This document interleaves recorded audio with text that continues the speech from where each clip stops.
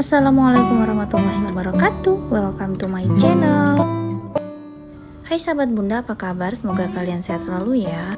Nah kali ini bunda mau berbagi resep Bolu karamel kukus ya sahabat. Simak videonya sampai selesai. Dan ikutin terus prosesnya ya. Happy watching. Nah bunda, di sini saya memakai bahan-bahan yang sangat simpel banget ya. Dan pastinya mudah banget didapat. Nah, untuk bahan-bahannya aku tulis di deskripsi ya.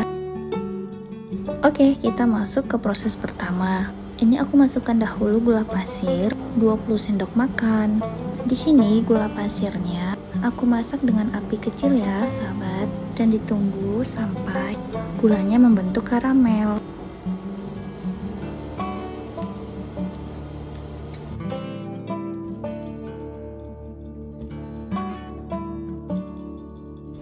Dan kemudian aku tambahkan air panas 200 ml secara perlahan-lahan aduk hingga merata sampai gulanya tercampur dengan airnya.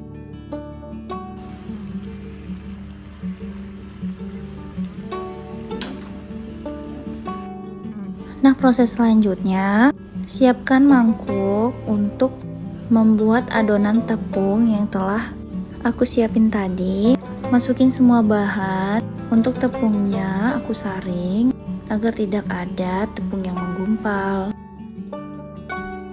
Di sini juga baking powder dan soda kuenya. Aku saring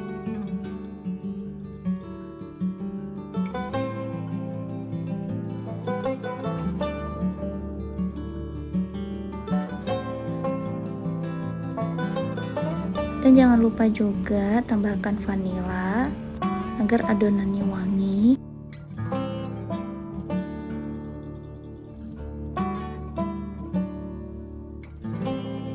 Lalu adonan semuanya diaduk secara merata dengan menggunakan spatula. Dan di sini aku tambahkan 50 ml susu kental manis dan 5 sendok makan mentega yang sudah aku cairkan. Lalu aduk hingga merata.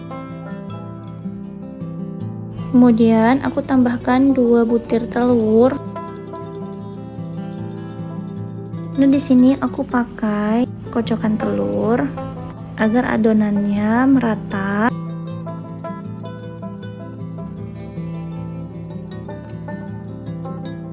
Untuk tahap terakhir, aku tambahin air gula karamelnya, aduk hingga merata. Untuk tahap ini, sahabat bisa untuk menyaring adonannya ya.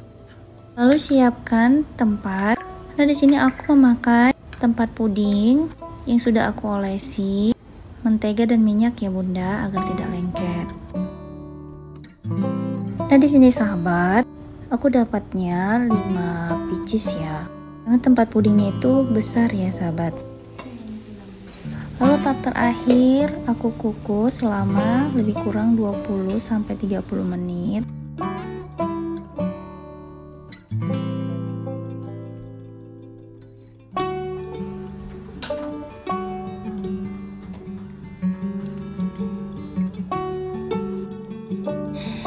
Nah sahabat inilah hasilnya. Bolu karamel kukus Simple dan gampang banget kan? Kue bolu karamel ini bisa juga loh untuk melengkapi kegiatan arisan di rumah ataupun ide jualan. Oke sahabatku, terima kasih ya sudah menonton video masak aku hari ini. Semoga bermanfaat dan selamat mencoba ya. Oh iya, bagi yang baru menemukan video ini, jangan lupa dukungannya ya dengan cara like, comment, serta subscribe, dan share sebanyak-banyaknya di media sosial kalian. Dan terima kasih juga buat sahabat aku yang selalu setia menemaniku. Semoga kalian sehat selalu dan dimurahkan rezekinya ya. Amin. Wassalamualaikum warahmatullahi wabarakatuh. See you next video. Bye bye.